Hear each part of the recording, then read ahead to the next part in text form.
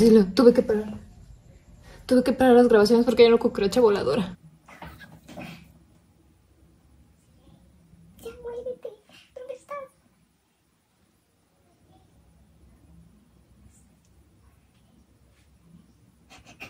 He ganado la batalla contra la cucaracha.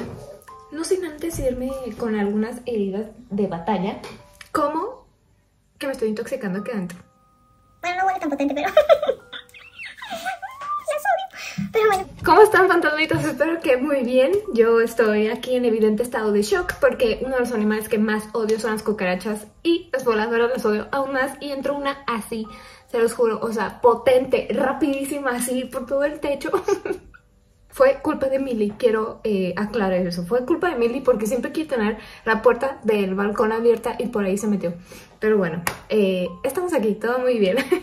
Pero bueno, fantasmitas, el día de hoy les traigo tres experiencias que ustedes me envían como todos los domingos. Entonces hoy no va a ser este una excepción. También les traigo tres historias súper buenas. Recuerden que si ustedes me quieren enviar alguna, el mail está en la cajita de descripción, eh, es historiasparanormalesmarijo.gmail.com Ahí me pueden enviar sus historias si tienen fotos o fotos referencia, así como para adentrarnos un poco más en lo que es la historia, la pueden enviar también. Si tienen audios, eh, nada más si son audios eh, que se puedan descargar bien porque a veces no, no puedo descargarlos por alguna razón. O sea, si me los mandan directo como que de WhatsApp no, no los puedo descargar yo. Este, entonces pues bueno, nada más ahí les encargo en caso de que me quieran enviar algún audio. Y pues bueno, entonces ¿qué les parece si comenzamos con la primera historia? Aquí van a estar apareciendo mis redes sociales, solamente tengo estas cuatro que están apareciendo por aquí. Y este, ¿qué otra cosa les iba a decir? Bueno, y recuerden suscribirse para que sean parte de la familia Fantasmita. Y aquí subimos cuatro videos a la semana. Esta semana la verdad es que sí, solo subí tres por la cuestión del diente, que es la misma situación que les platicaba el video pasado. Eh, tuve una intervención, eh, aquí todavía me siento un poco hinchada, no sé ustedes cómo me vean, yo aquí miren, como que aquí, porque justo de aquí fue donde me sacaron el diente, entonces todavía no puedo abrir muy bien la boca completamente como me gustaría. Entonces, pues bueno, eso es todo, pero creo que ya estoy de mucho mejor humor que el video pasado, ¿ok? Entonces, bueno, vamos a comenzar con la primera historia, que las tres están muy buenas, así que adelante. Ok, esta primera historia es anónima, ¿ok? No vamos a decir nombres y ese es un detalle que si ustedes quieren que pase, o sea, si ustedes no quieren que yo diga nombres de su historia o algo, simplemente pónganmelo en el mail y ya, así súper especificado para que yo lo pueda hacer. Y pues no se preocupen. Entonces, muy bien. Esta es una historia anónima y dice que todo empezó alrededor del año 2008, o sea, ya tienen un ratito. Dice que en ese tiempo su mamá trabajaba en el ejército, lo cual quiere decir que cuando a ella le tocaba trabajar, pues se iba todo el día eh, pues para allá, ¿verdad? Entonces se quedaba como que ella y su papá en su casa. Entonces, bueno, todo pasó en el 2008 y dice que la hija de su jefe eh, concursó para ser una eh, reina de la primavera, lo cual consistía en vender boletos como para una rifa y eran boletos de bajo costo, entonces su mamá eh, compró algunos, ¿no? Entonces pues ahí todo muy bien. Ya cuando llegara la fecha pues les iban a hacer la rifa y pues iban a llamar a quien se hubiera ganado el premio. Ahora, resulta que eh, la ganadora de esta rifa fue la mamá de la chica, ¿ok? Entonces, ya van por el premio y resulta que era una muñeca pues bastante grande. Ese mismo día, pues bueno, recogen a la muñeca y se la llevan a su casa. Entonces ahí todo, todo estaba como pues normal, ¿no? Entonces, como ellos ya tenían otras muñecas ahí en su casa, pues simplemente acomodaron esta nueva, que recuerden que pues era una muñeca bastante grande, la acomodaron en esta repisa donde ya tenían a sus otras muñecas. Ahora, en ese entonces ellos tenían a una perrita.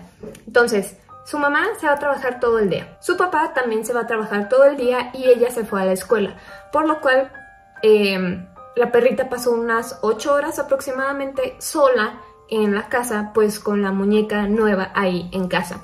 Entonces eh, pasó algo muy extraño porque su papá es el primero que llega a su casa y dice que encuentra a la perrita como en estado de shock, muy asustada, súper alterada, estaba temblando. Entonces les digo, sí como que en este estado como pues sí de que casi casi quería salir huyendo de lo que pues era su propia casa, ¿no? Entonces, eh, pues esto nunca había ocurrido y esto de que todos salieran y la perrita se quedara sola, pues creo que es común, yo creo pues para la mayoría, de que pues a veces nos toca dejar a nuestras mascotas solas en casa mientras vamos a la escuela, mientras vamos a trabajar, entonces antes no había pasado este tipo de cosas, pero en esta ocasión pues sí fue un poco raro, por lo cual su papá pues sí, pues se le hizo raro, pero pues ahí quedó como que la situación, ya que llegaron la perrita se calmó y pues no pasó como a mayores. Total, la chica comenta que su papá tiene realmente el sueño muy muy pesado, por lo cual casi no se despierta por nada, ningún ruido ni nada en toda la noche.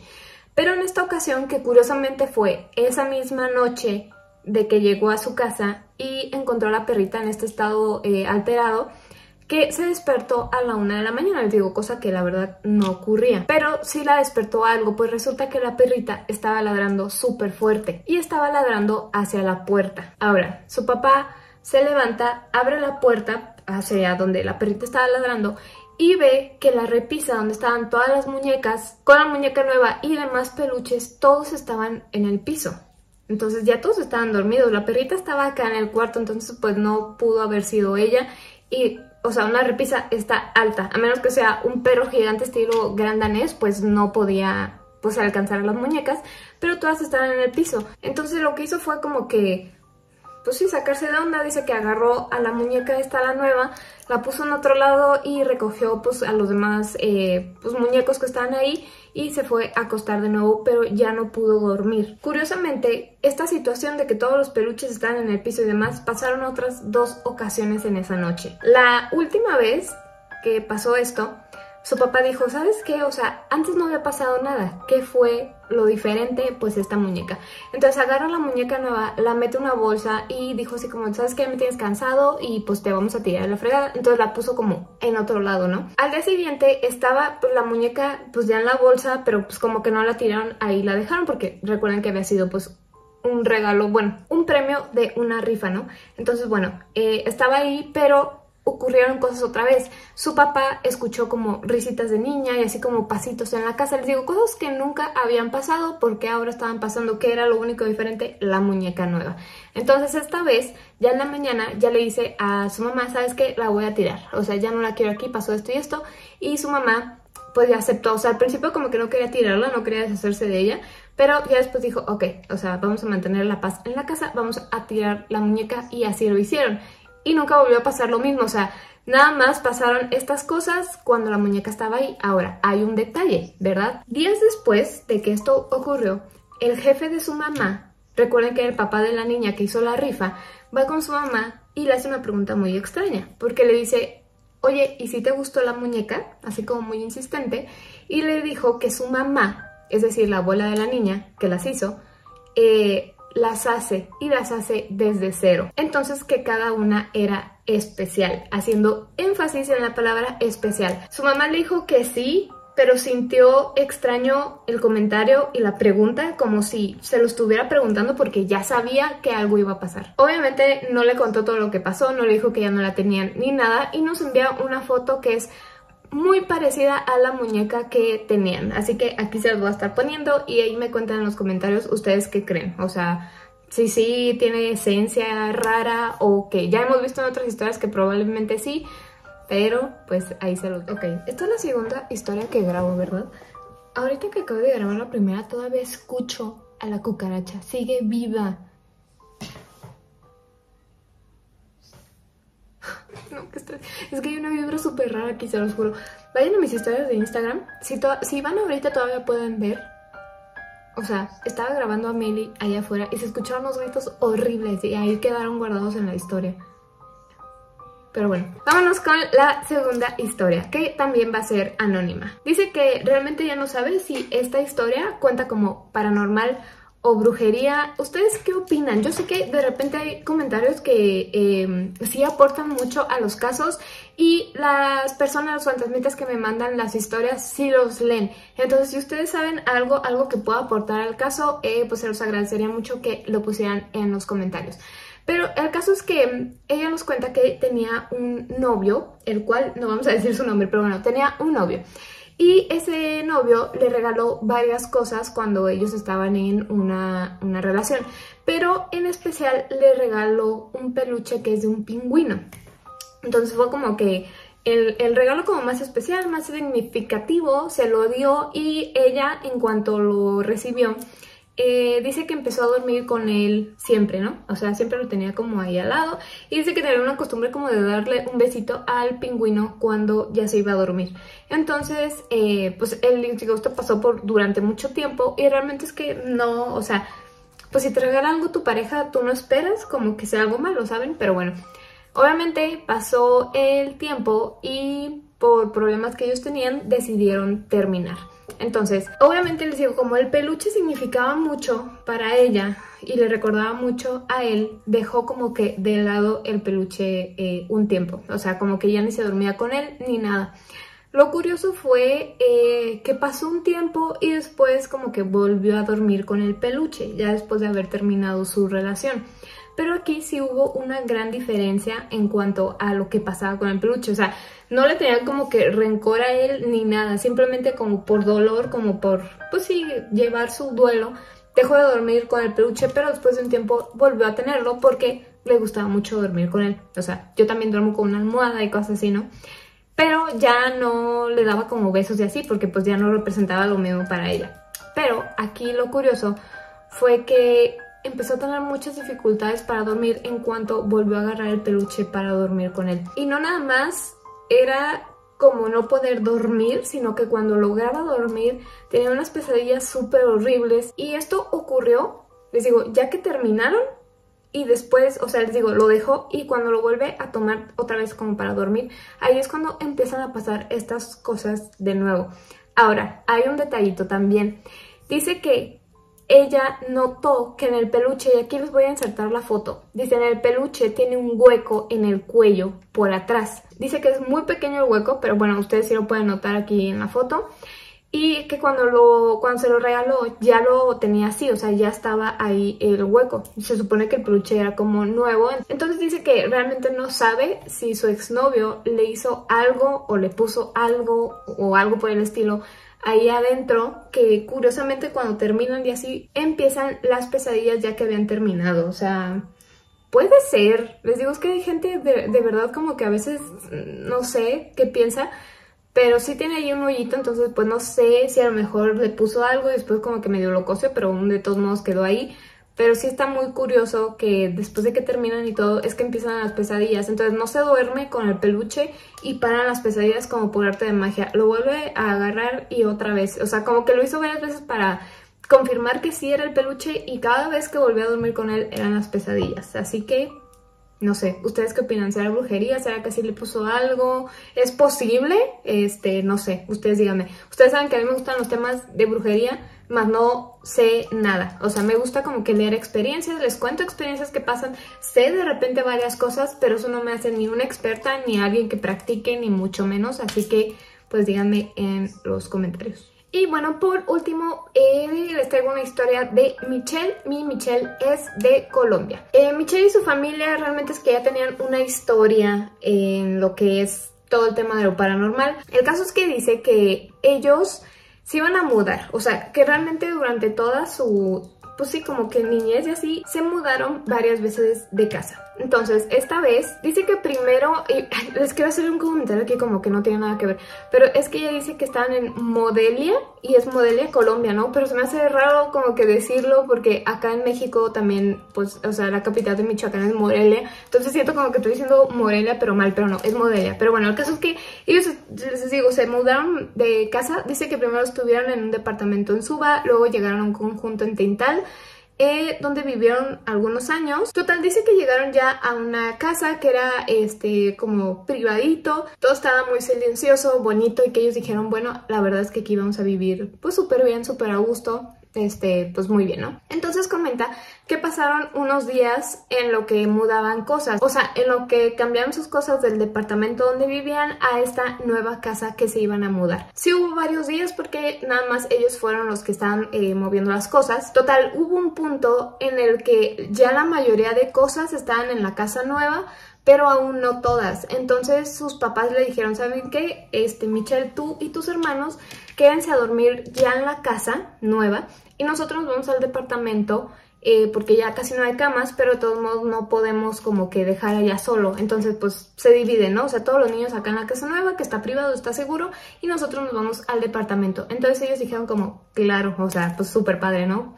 Eh, de hecho comenta que pasaron toda la tarde con un amigo suyo en lo que estaban ahí como que organizando las cosas, que comieron juntos, la pasaron muy bien jugando y demás, pero obviamente ya llegó una cierta parte del día donde su amigo ya se tenía que ir a su casa, entonces se va y eh, los hermanos se quedan solos en la casa nueva. Y pues ellos, ya que se va su amigo, eh, pues se preparan para dormir y que la verdad estaban como muy emocionados de que iba a ser la primera noche acá en su nueva casa. Comenta aquí algo importante y es que dice que esta casa estaba en la esquina, por lo cual tenían un vecino en la parte de atrás y uno en la parte de un lado, del otro lado pues no había nada, ¿verdad? Pero que las eh, paredes de esta casa eran muy muy delgadas, por lo cual podían escuchar perfectamente lo que hacía el vecino de atrás o el de al lado. Pero nos vamos a enfocar en el vecino de atrás. Entonces, bueno, ellos ya se estaban preparando para dormir, todos iban a quedar en un mismo cuarto y aquí ocurrió algo. En este cuarto en el que estaban era justo la pared que estaba pegada a la casa de atrás. Les recuerdo, las paredes eran muy eh, delgaditas. Entonces, escucharon como algo como que pega en la pared y así como que unas garras, ya saben, así como se escucha así como que las garras de arriba hacia abajo, ellos se asustaron horrible. Incluso dice que su hermana empezó a llorar de cómo les asustó este ruido y ellos no sabían qué era.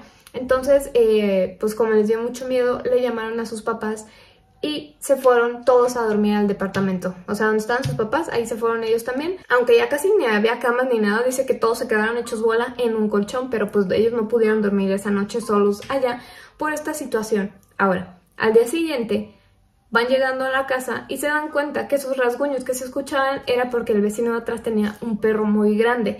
Entonces sus papás como que medio les echaron burla de que pues por eso se habían asustado tanto que hasta se habían ido a dormir allá al departamento. Pero no tardaron en darse cuenta que realmente estas cosas eh, o sea, estos rasguños y estos golpes no eran de nada más el perro, o sea, había cosas muy extrañas que estaban pasando en esa casa. Para empezar, muchas de las cosas que ellos tenían se rompieron o se perdieron. O sea, por ejemplo, dice, teníamos más de 20 platos y nos quedaron 5. O sea, así, sin ninguna razón, nada más 5. Se rompieron saleros, vasos, se perdieron muchas de sus cosas, se reventó un espejo grande eh, que tenía en el tocador de su cuarto Incluso nuestro carro se lo llevaron como a, patios que le dice ella que acá en México sería como el corralón y que nunca lo volvieron a ver. O sea, como que pasaron cosas bien raras en cuanto llegaron a esta casa. Y su habitación no tenía puerta, por lo cual ella así se ponía enfrente a la puerta, veía las escaleras así súper, súper oscuras y pues que le daba miedo, la verdad. Entonces pasa un tiempo y dicen que por cosas del destino encontraron a la persona que antes vivía en esta casa que ellos acababan de mudar. Entonces les platicó que él no duró mucho tiempo viviendo ahí.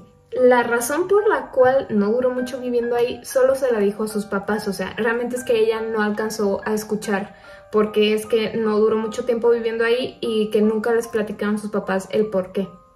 Entonces como que siempre se quedó con la duda, pero ya después vieron por qué. Dice que entre otras cosas, eh, que la cocina tenía un problema súper grave, se inundaba y como estaba muy chiquita como que se ensuciaba todo. Pero este tipo de cosas eran las cosas leves, o sea, pasaban cosas muy raras allá adentro. Ella tiene una cama que es como de bronce, entonces sentía como que le están haciendo así ya saben, o sea, como con la uña, pero el sonidito con el metal es muy característico, entonces ella sentía que eso le estaban haciendo en su cama. Y además ella estaba así como que acostada y sentía como si como si alguien le metiera la mano por abajo de la almohada, entonces como que, pues sí, o sea, se levantaba a buscar y no veía nada. A su papá también le pasaron varias cosas. Eh, una mañana mientras él estaba teniendo la cama, escuchó como alguien abrió la regadera, no había nadie en la casa, por lo cual lo primero que le pasó por la mente fue, seguro se fue el agua, entonces alguien le dejó abierto y ahorita ya que regresó el agua, pues empezó a salir, pero no, la llave estaba totalmente abierta, o sea, dice que le tenían que dar como 10 vueltas para que se abriera toda y estaban las 10 vueltas así.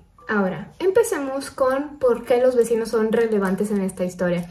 Dice que parecía que aventaban canicas hacia la pared, obviamente la pared que daba hacia su casa. Y al ser las paredes tan delgaditas se escuchaba perfecto, pero que eran unos así, unos golpes y a cada rato y toda la noche de que dale y dale y dale con algo duro que parecía como una canica. Y dice que los vecinos casi nunca salían de su casa más que una vez al día y esa vez era para sacar al perro. Y esa era toda la vez. O sea, de hecho ella ni siquiera se acuerda de los vecinos de que realmente los vio muy pocas veces. Una de esas noches estaban haciendo ruido extremadamente fuerte, o sea, demasiado ruido. Entonces su papá, enojado, les pide, o sea, se levanta y les pide desde acá desde su casa hacia allá que dejen de hacer ruido. Les digo, las paredes súper delgadas, entonces evidentemente lo escucharon.